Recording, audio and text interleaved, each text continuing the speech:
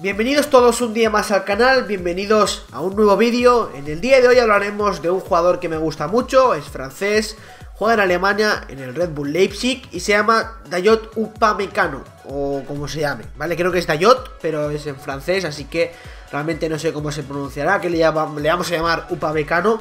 Y realmente es un central que, bueno, se habla de que el Barça podría tenerlo controlado, que es un jugador que llevo tiempo ya siguiendo, desde que estaba en el Red Bull Salzburgo. Esta temporada ha pasado, bueno, realmente lo cuentan como fichaje, pero no es ningún fichaje, lo ha fichado el Red Bull Leipzig, que es de la misma franquicia que sigue, así que realmente es prácticamente como pasar del filial al primer equipo, ¿no? Es un poco trampa, pero bueno. Bueno, ya sabéis, tema Red Bull Leipzig, es un equipo muy odiado en Alemania, también es un equipo que, bueno, ha causado bastante controversia por el tema de, del dinero, ¿no? En Alemania no se ha aceptado el hecho de que este equipo haya crecido tanto en tan poco tiempo, pero realmente yo creo que a mí me gustaría ver muchos más equipos como, como Leipzig, ¿no? Un equipo que económicamente es muy fuerte, viene de Red Bull, una franquicia que, bueno, gana millones y millones y millones y millones diariamente. Y, es una franquicia que, bueno, decidió apostar por el fútbol alemán, lo, lo, hizo bien desde mi punto de vista, apostó por un modelo de cantera, un modelo de fichar entrenadores para el futuro, un modelo de formación más que de comprar lo que ya está hecho. Eh, ese modelo es más del City, del PSG, que ojo, no, no, yo lo, yo lo respeto, ¿vale? Cada uno hace lo que quiere con su dinero, pero bueno, creo que en este caso el Red Bull Leipzig ha hecho bien las cosas y, se está viendo con jugadores como Navi Keita, como jugadores como Forsberg, jugadores como Julian Begel, por ejemplo, que vino del Red Bull Leipzig, si no estoy, si no estoy equivocado. Eh, son jugadores, la mayoría que a día de hoy se están convirtiendo en estrellas y en jugadores muy mediáticos en Alemania. Y eso no es gracias al dinero, sino que, también, sino a la buena formación, ¿no? Y que equipos grandes o que económicamente son fuertes apuesten por modelos de cantera y no por modelos de, de cheque, digamos así, pues realmente yo eh, lo considero, me gusta, me gusta sinceramente, lo considero muy respetable y ojalá que, que la mayoría de equipos sigan este modelo y no los otros que a mí me gustan menos todo y que repito, los respeto. Vamos a hablar de Upamecano ya, porque ya me he centrado aquí en el Leipzig y no quiero, no quiero, vamos a hablar de Upamecano. Es un central que me gustaría para empezar compararlo con Pepe, porque me parece un central muy parecido en algunos aspectos, sobre todo físicamente, ¿no? El típico jugador fuerte, que lucha todos los balones como el último, que encima tiene mucha velocidad en carrera, que le cuesta un poco, es verdad, arrancar, es el típico central que le cuesta a lo mejor arrancar y que con jugadores de un centro de gravedad bajo puede llegar a costarle, ¿no? Porque son muy rápidos y en, espacios reducidos le puede costar un poco más. Pero en lo que es carrera pura, si te pones a correr al lado suyo a, la par, eh, lo más probable es que te gane, ¿no?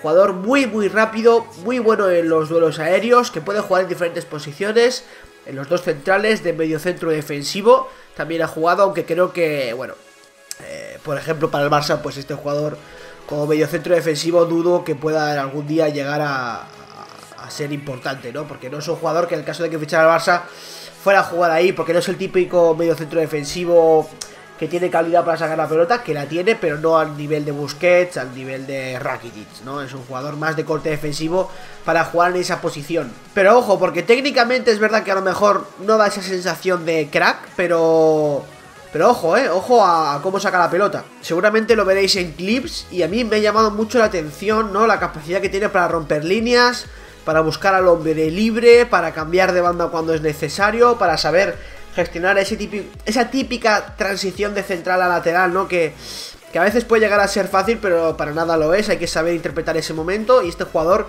me da la sensación de que lo hace muy bien. Lo dicho, el modelo de formación del Red Bull Leipzig también ayuda mucho a que este jugador haya crecido como tal, o del Red Bull Leipzig o del Red Bull, eh, como queráis llamarlo. Me gusta, me gusta, me gusta mucho cómo juega. Eh, repito, es un central que para el Barça creo que podría ser interesante porque, repito, Red Bull Leipzig tiene una formación muy cercana a la del Barça, ¿no?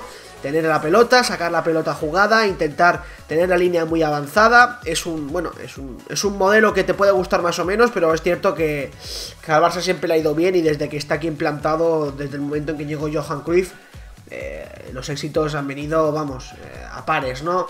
Tripletes, sextetes, todo gracias a este modelo y creo que, que fijarse en jugadores que juegan en un equipo con este modelo tan cercano, pues llama la atención, ¿no? Y que... Y, funciona muy bien, lo podemos ver en el caso de, por ejemplo, un Titi, fuimos a buscar un central que tuviera buena salida de balón, apostamos por un joven francés que, bueno, parecía ser bueno, pero pues generaba dudas y a día de hoy es uno de los mejores centrales del mundo, ¿no? En el Barça tú siempre vas a crecer, sobre todo si tienes a jugadores como Piqué al lado, en el caso de Titi tuvo Mascherano, y, y tener a jugadores experimentados que saben muy bien jugar en esa posición y que te puedan ayudar a crecer, pues es un plus, es un plus que hay que tener muy en cuenta. Y Upamecano estoy convencido de que si fichara por este equipo, por el Barça, podría crecer. Ojo, no es mi opción favorita, ya sabéis que a mí me gusta mucho hablar de jugadores jóvenes que me llaman la atención, que creo que pueden ser importantes en un futuro en la escena del, fútbol europeo. Y creo que Upamecano lo va a ser, sinceramente. Si no es en el Barça, será en otro equipo.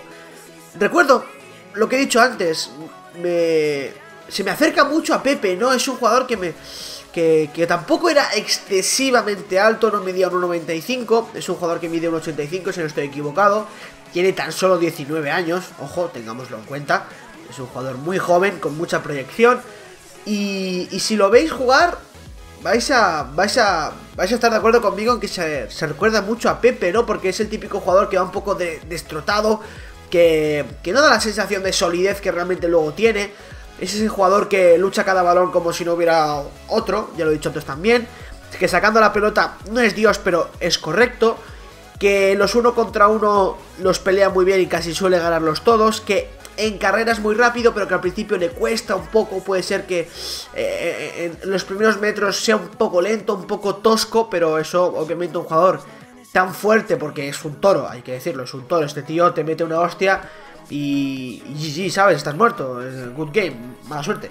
Así que a mí es un jugador que me gusta, me gusta, me llama la atención y que me, gustaría verlo en el Barça en el caso de que hubiera un interés. Pero ya sabéis esto cómo va, no es nada fácil. Así que nada, espero que os haya gustado el vídeo. Si es así, dejad un me gusta, que no cuesta nada y siempre es de agradecer por mi parte. Suscribíos al canal para más vídeos como estos, seguirme en todas mis redes sociales, que las tendréis en la descripción. Y nada, un saludo a todos y nos vemos en el próximo vídeo. Adiós.